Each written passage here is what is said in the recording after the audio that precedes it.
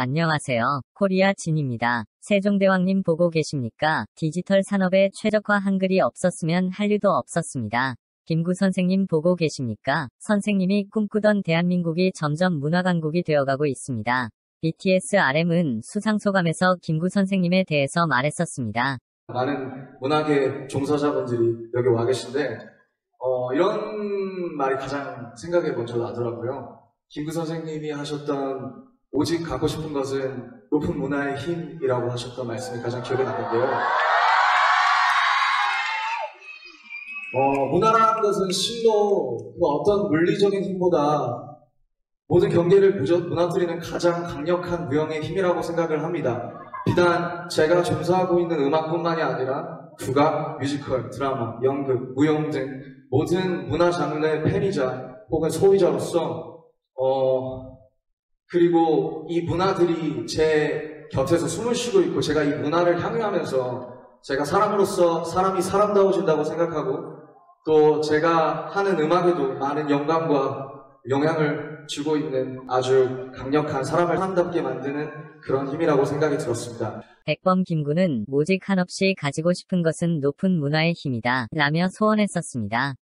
나는 우리나라가 세계에서 가장 아름다운 나라가 되기를 원한다. 가장 부강한 나라가 되기를 원하는 것은 아니다. 내가 남의 침략에 가슴이 아팠으니 내 나라가 남을 침략하는 것을 원치 아니한다. 오직 한없이 가지고 싶은 것은 높은 문화의 힘이다. 우리의 부력은 우리의 생활을 풍족히 할 만하고, 우리의 강력은 우리 자신을 행복하게 하고, 나아가서 남에게 행복을 주기 때문이다. 인류의 이 정신을 배양하는 것은 오직 문화이다. 진정한 세계의 평화가 우리나라에서, 우리나라로 말미암아 세계에 실현되기를 원한다. 봉준호 감독이 영화 기생충으로 미국 아카데미 사관왕, 한국제영화제 황금종려상 등으로 세계 영화사를 다시 쓰게 되었습니다. 골든글로브 현장에서 BTS를 언급했습니다. 리포터가 한국이 현재 세계의 판문화를 선도하고 있는데 K-팝 밴드 한국의 음악 배우 등등 창작성과 비주얼로 문화의 힘을 보여주는 이 시점에 무슨 생각이 드시나요? 라는 질문에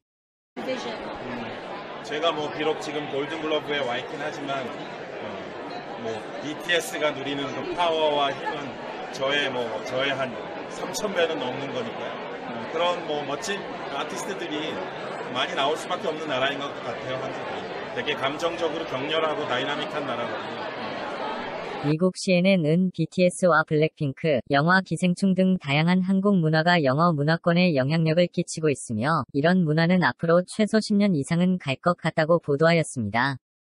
또 하나의 쾌거는 성을 앞에 붙이는 한국식 이름 봉준호라는 한국식 문화가 널리 알려졌으면 좋겠습니다.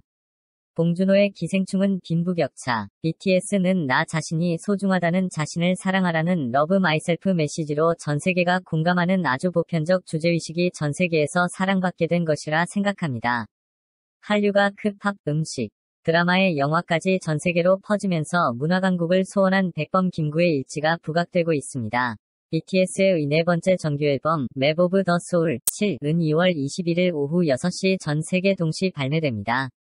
방탄소년단은 첫 방송 일정으로 21일 미국 MBC 투데이 쇼에 출연 뉴욕 록펠러 플라자에서 생방송 인터뷰를 합니다. 24일에는 MBC 더 투나잇 쇼 스타링 지미 펠런에 출연해 타이틀곡 무대를 최초로 선보인다고 전했습니다. 이상 코리아 진이었습니다.